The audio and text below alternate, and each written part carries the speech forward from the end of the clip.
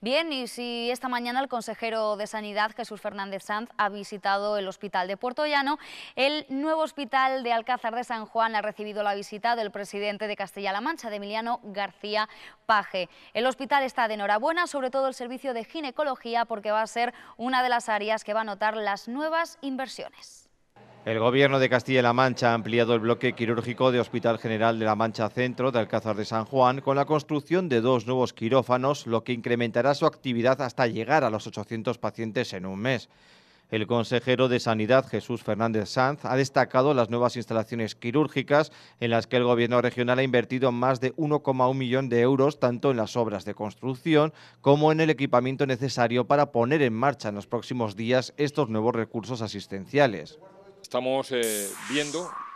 celebrando la construcción de dos nuevos quirófanos muy necesarios para este área. Es un hospital que ya necesitaba el incremento del bloque quirúrgico, que no solo ha sido mm, con dos quirófanos, sino que la ampliación consiste en dos quirófanos, dos salas de terapia quirúrgica, una va a ser dedicada a histeroscopias y otra a tratamiento de oftalmología, y además un número ampliado de puestos de reanimación, hasta un total de 21 puestos de reanimación. En definitiva, es importante cuando se amplía el bloque quirúrgico en relación a las salas quirúrgicas, también ampliarlo para el despertar posterior que van a tener los pacientes, y ese ha sido el caso, y además es donde nos encontramos en este momento, como digo, con un total de 21, de 21 puestos de post quirúrgico o de reanimación.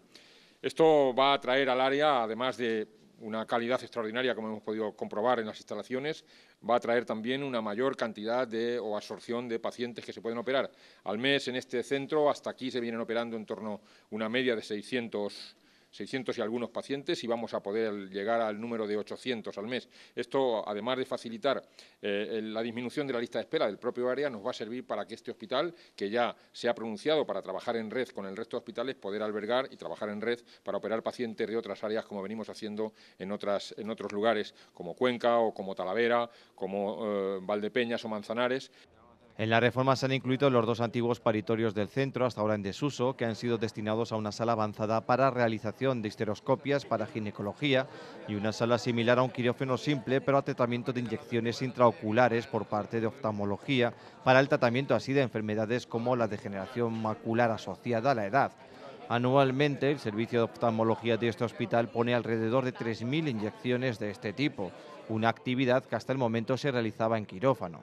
Un hospital, no solo este, sino cualquiera, está continuamente precisando mejoras, eh, hacemos pequeñas obras, hacemos eh, obras de accesibilidad, tecnología, eh, dentro de poco aquí va a venir un mamógrafo con tomosíntesis y también un, un, equipo de radiología digital, por lo tanto son continuas mejoras en el plan de renovación tecnológica y también en las infraestructuras. Ahora, de momento, lo que necesitamos es preparar un buen año 2018 para disminuir al máximo las listas de espera y mejorar las extensiones, que en definitiva es lo que los ciudadanos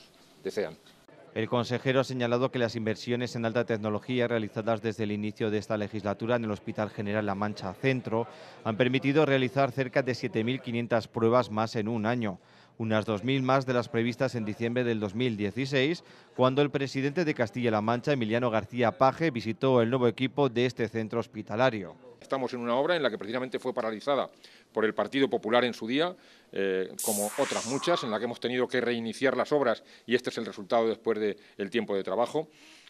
Felicitar, no cabe duda, a quien lo ha llevado a cabo, la empresa, el diseñador, el arquitecto y también a, la gerencia, a la gerencia del área y a todos los profesionales.